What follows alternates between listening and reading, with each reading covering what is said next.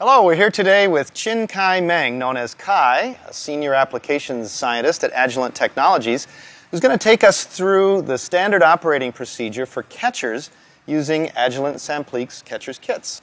Can you start off by talking a bit about the advantages of the QuEChERS method? Hi, oh, yes, of course. Pesticide residue analysis of food and environmental samples have been performed for more than 40 years. Food safety analysts must perform multi-class, multi-residue methods to detect many pesticides, hundreds potentially, in a sample. Plus, there is a wide range of chemical properties of pesticides, including acidic, basic, and neutral, and a wide variety of matrices, polar, nonpolar, fatty, waxy, etc. What's great about QuEChERS is that it is a simple and quick method and only involves a few steps. Yet, it prepares the sample for identification of multiple pesticides. Whenever you can keep a sample preparation method simple, you can improve the results of your chromatography analysis. So, what do we have here in terms of supplies? We have only a few supplies that are necessary. Here is the SampliQ extraction kit, 50 ml vials, and, and the uh, salt. We have the cleanup dispersive SPE kit, and pipettes, funnel, pH paper, stopwatch, and some standards. So, how many steps are there in the QuEChERS method? Well, the method is very simple. There are some variations that come into play depending on the type of food you are analyzing. Agilent has a recommended standard operating procedure, about eight steps for the QuEChERS method. I'll take you through the steps now. The first step is to grind up the representative sample, one kilogram or so, so it is consistent. We use a large grinder to prepare the sample I have here. This is the strawberry sample. It is recommended that you use dry ice during the grinding process so as to prevent the loss of more volatile pesticides. After milling, transfer a subsample to a 50 ml tube immediately to avoid losing any analytes and store the rest. You select your kits based on the sample size you plan to use. Weigh it to plus minus 0.1 gram and transfer it into your extraction tube. Next, we do the extraction process First, we take our 50 ml tube. We're going to add acetonitrile.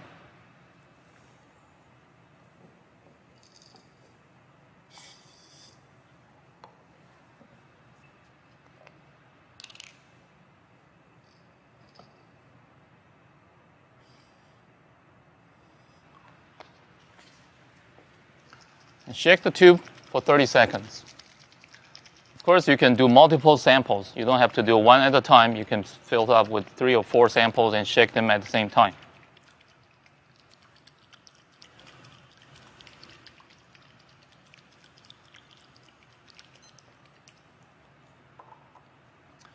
Now we add our pre-measured packet of magnesium sulfate and sodium chloride to the sample and shake it vigorously for one minute.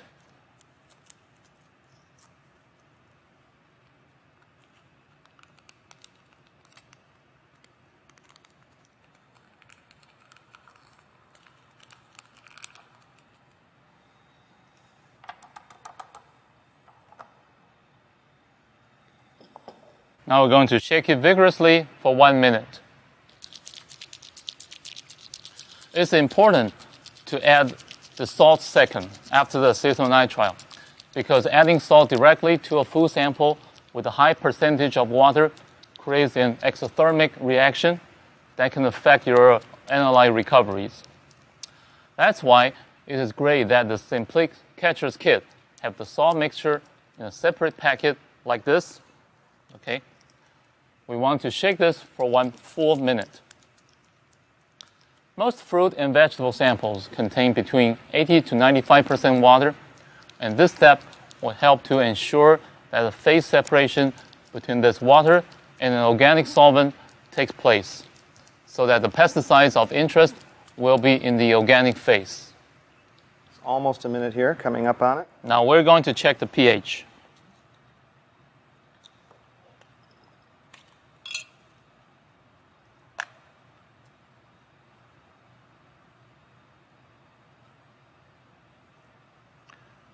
This is a little acidic. Probably add a little bit. This is about 4.7 now. Probably going to add a little bit sodium hydroxide to adjust the pH.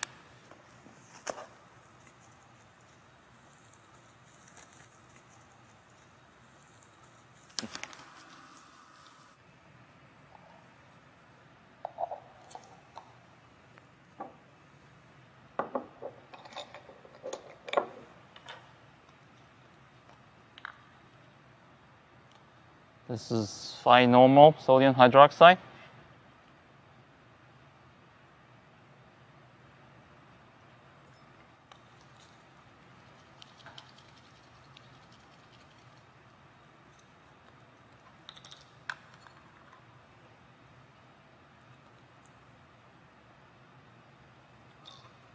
Next, we want to add internal standard.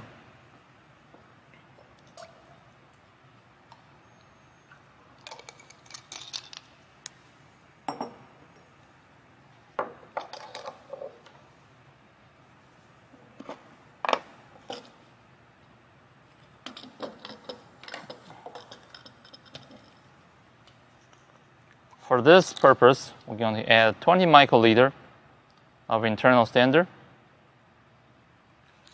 The internal standard we're using is triphenyl uh, phosphate. Triphenyl phosphate has the right property to undergo quantitative method for low-fat matrices. After adding internal standard, shake this for 30 seconds. Okay, would you be my timekeeper? Sure. Go.